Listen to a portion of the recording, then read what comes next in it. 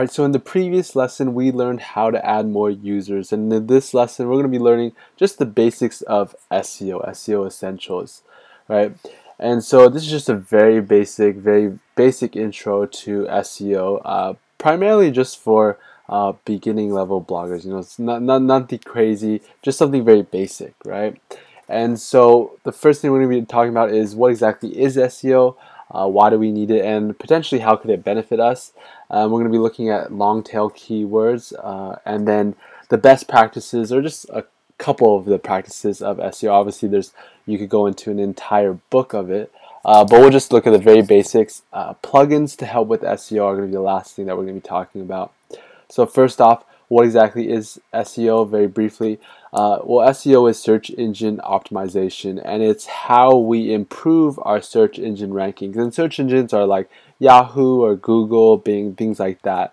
Um, and it's so it's what allows Google to index our website, or what any search engine uh, to index our website. And so there's different algorithms for the different search engines. Uh, primarily, most people look at Google just because it has the highest volume of, of traffic. But pretty much what search engine optimization allows us to do is different practices, different tricks, different tips um, that are all very much so legal that allow you to kind of um, tell Google exactly what your your website is about or exactly what your article is about if you're writing a blog um, so that users can find your website easier and well, one of the reasons why it's so important is that, well, for example, the number one spot on Google gets 33% of all the search traffic. So, for example, if you're searching for um, coupons, for example, and let's say that gets searched up um, a million times, well,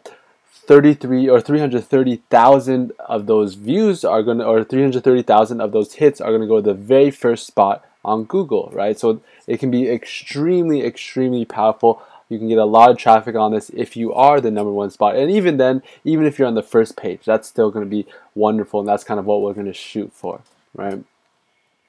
And so the next thing that we're going to be talking about, yeah, that was just a very basic intro to exactly what SEO is, why it's important, and how it can help us. Pretty much in some, it can give us a lot of traffic, right? So the next thing that we're going to be looking at is how can we potentially take advantage of this or um, you know utilize this, uh, what, what we know about it. And so kind of the core of SEO for, for us, what we're going to be looking at simply because you know we are all going to be starting new websites. We're all going to be just starting off, right? Uh, there's a lot that goes into SEO just based on, you know, for example, your social media profiles, the, the domain age, um, just kind of the general authority of your website, the amount of sharing it has, the authority that you have as an author. But a lot of that we can't necessarily alter, right? Because that's something that will come over time. That's something that over time we'll be able to improve. Just like, um, you know, a big part of SEO is getting backlinks, right? Backlinks allow people to trust you, allow people to understand that, you know, you're not going to link to something unless it's actually something good, right? So this something that has more backlinks or more links linking to it is going to be better, right? But in, in for us, that's not really that uh, I guess feasible because that's something that's going to happen over time or through uh, marketing on the side. What we're looking for is just mainly on our blog. How can we improve SEO simply just on our blog? And that's going to be long tail keywords. And pretty much what this is, it's uh, I think this diagram explains it pretty well. Is long tail keywords, you can imagine a short tail keyword is something like camera, right? Very short, straight to the point, exactly what somebody may be looking for. Um, next being digital camera is going to be a little bit longer. Sony digital camera, Sony CyberShot digital camera. You get the picture. It's something that's much longer. And so why is this important and what does this graph even show?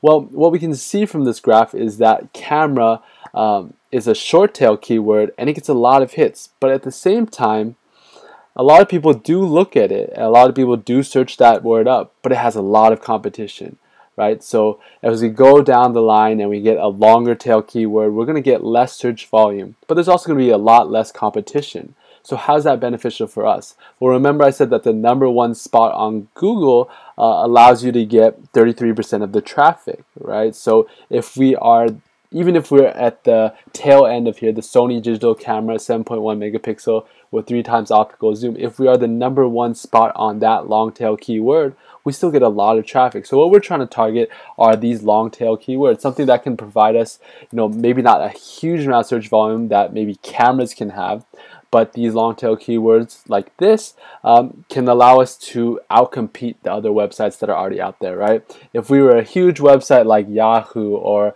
uh, you know, answers.com or any like HubPages or something like that yeah camera would be a lot more feasible for us to compete with and for us to compete for but for us, we're going to be looking for these long tail keywords. So we're going to want to try to target um, our blog or our posts to really focus around these certain long tail keywords. So we can just choose one for our blog post and try to kind of feature it or trying to um, showcase our blog and manipulate our blog around that term, right? So the first step is always in SEO for us is going to be choosing that long tail keyword, and that's just going to be using different types of tools. Uh, there's many different tools out there. Simply just in the Google Keyword Planner tools is the first place to start, just because it's free and it's also offered by Google, so you know it's your your best choice in terms of search engines, right? It allows us to kind of search for these keywords. And I'm not going to explain in detail of how to actually find these keywords or which ones to select. I'll probably make a future video on that. But pretty much in short, we're, we're trying to go after these long tail keywords because less search volume, but a lot less competition. So allow us to outcompete the other websites that are currently ranking for that long tail keyword, right? Especially for newer bloggers. Even if you're more of a seasoned blogger, it's still long tail keywords are, are the way to go simply because less competition, right? So, how do we actually, um, I guess you can say, how do we actually uh, compete for them or rank for those? And these are going to be just with the SEO best practice, and these are just the best practices um, for your actual blog. And these are very, very simple, very uh, basic understanding of it. And so, uh, pretty much just targeting the keyword. So the on-page SEO on your actual blog post that you're writing. How can we target for that? Um, and it's just trying to. You can imagine if if you have your keyword, for example, in the previous one, uh, let's just take.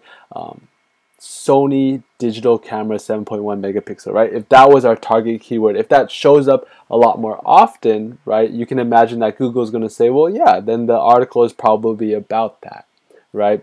And so you can imagine that the higher frequency of the keyword is obviously going to be better, right? And you, you don't want to overuse it so that it just doesn't make sense to a user because ultimately who's your primary audience is the user. You want to make sure it's readable for them as well. But in certain places that it does make sense, that's when you should try to uh, try to increase the frequency as much as possible. For example, in your heading, right? Um, for example, your actual title. I think I meant by title for the heading uh, in your post URL. So, for example, for us, wpforall.com slash and whatever the, the additional part is, maybe you can do wpforall.com slash Sony digital camera 7.1 megapixel review if that was our target keyword right? So it's in our post URL, it's in our heading, um, and so like I mentioned, large keyword density in your meta description. So that's going to be down below, kind of describing. When you search on Google, you'll see a little paragraph or a couple sentences right below the title. That's your meta description. That's what people are going to be able to read. So if you have a larger keyword density uh, within the meta, meta description, that's going to obviously be a plus. Uh, and then in your H1, H2 heading tags, uh, bold and italic, right? So people kind of dispute about that part, of the bold and italic. But yeah, I think that it can't it can't hurt ultimately if you have something that's bolded. It's not only going to be better for the user, uh, it's also going to be show that that's kind of what the most important aspect of it, right? So those are kind of the SEO best practices. And so how can we actually what are the tools that we can use to improve SEO? And these are just two. I mean there's there's literally hundreds of them that you can use these are just ones that we use, um, and the first being um, the free plugin that I mentioned in the plugins video, the WordPress SEO uh, plugin that's made by Yoast, uh, Yoast.com. I believe it is, and uh, that will just allow us. And I'll actually show you how to use that one because I think that one's the most important. Um, actually, show you how to. It kind of just gives you ratings on how good your on-page SEO may be, how where you can improve it, things like that. So it's kind of just like um, you know that tap on the shoulder that you may need to okay remember that you need to do this uh, things like that right? And HitTail just allows you to uh, find those long tail keywords that are the best for you right? It uses your previous traffic what you've ranked for in the past kind of has a bunch of different algorithms that it used to actually give you what should you target what type of long tail keyword should you target to give you the most optimal success Alright, so now I'm actually going to show you how to utilize this WordPress SEO plugin, right? And there's a bunch of free plugins on the WordPress directory. If you find one that you like better, feel free to use that one as well. But for me, what I use is this WordPress SEO by Yoast. Uh, it, it actually is, is quite good and it's used by a lot of different people, right? And it's updated uh, very often as well. And so what you're going to do, uh, same thing as before, I showed you how to install plugins before, but I just want to show you what to search up, is this WordPress SEO, and it's it's called literally WordPress SEO by Yoast, right? So you should be able to find it. Uh, you should also be able to find it on the uh, WordPress directory as well if you want to upload that um, directly, that's fine too. Okay, so what we have is once we install, we activated uh, activated the, the plugin. What we're going to do is we're just going to see it throughout all the posts, right? And so I made just this sample post. This is actually from the main website, wpforall.com, uh, that I, I wrote. I just wanted to kind of show you how to utilize this um, SEO plugin, right? So as you can see right now, the SEO is green and it's considered good. Um, and so pretty much what it is, is it, uh, it allows you to target some type of focus keyword right? And so you're going to target for this focus keyword. So for example, I cho chose images for your website. I'm not going to say that that's the best focus keyword to choose from. Um, it's probably still very competitive and it has a lot of, uh, you probably want to um, not have certain terms like your, you, uh, my, things like that. It's, it's not something that uh, people necessarily uh, will, will type and it just uh, decreases your chances of being found. Uh, but yeah, that's besides the point. So what we're going to do is type in our our focus keyword. And we can see here, it's kind of just going to go down the line of uh, checking it off, right? Do you have the article in your heading? Do you have it in your page title, your page URL? How many times you have it within the body of your content and you have it in your meta description. Obviously some of these things uh, they can only be one right? Like the page title page URL things like that. Right now it says no uh, but it actually does have it um, in my URL I just haven't published it right? So it, it, won't tell me that it's there because it doesn't actually know that that's the it doesn't um, say that that's the actual URL yet right? Because I haven't published it.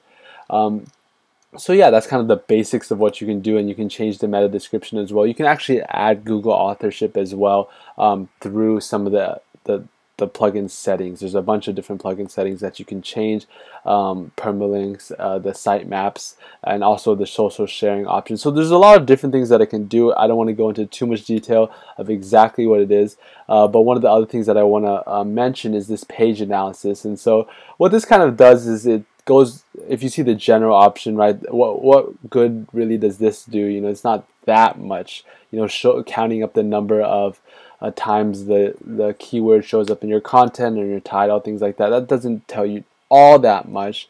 Um, right it is important though if you, you forget it's kind of like that tap on the shoulder.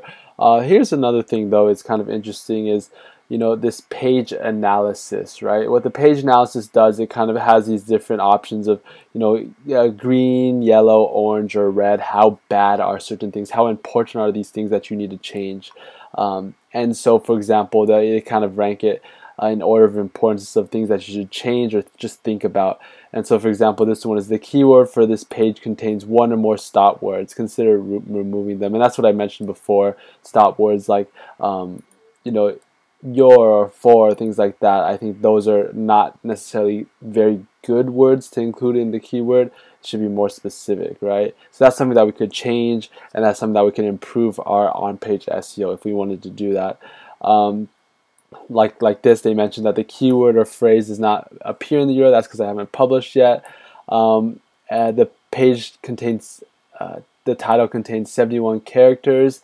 You should probably try to make it uh, less so all these are very important things that we probably could improve upon, things that uh, we can be made better. And if there's more things that are wrong, we can we will be able to see them right there. So it's it's, it's interesting to kind of see you know what um, things that can be improved on, things that can be made better. This is the social sharing. So um, you know certain things if you want a specific description that's more i guess for especially for facebook and google plus these are more things that are um, i guess more user friendly simply because uh, you know the facebook and google plus are going to be read by actual users so you want it kind of more simple more not um, i guess as optimized for a computer but more for a person i guess you can say and so they have a, a bunch of different options that you can change so i think that you know the plugin itself is is very powerful. It it's very robust. It has a lot of different options. I haven't gone actually in all the options that it has um, in this backend right here. I don't want to talk about it in this video too much, but yeah, I mean the options that it has uh, and the things that it can tell you just to kind of improve you know very basic things on on page SEO you know is is important. It's important to see that in conjunction with kind of finding this focus keyword or finding this long tail keyword that you want to target through through Hittail or any type of service that you want to use. You know, it's it's important to have right. So yeah, I, I just wanted to kind of introduce you a little bit to SEO. There's obviously a lot more to learn, a lot more to talk about. But that's just kind of the very basics of in terms of what we may be most interested in as um, new bloggers. So that's all for this lesson on SEO. And then the next lesson we're going to be looking at um, is actually social media integration. What type of plugins or what type of resources can we use to kind of integrate more with social media? And we're also going to be looking at RSS feeds, how to kind of set that up or um, simply how to use them.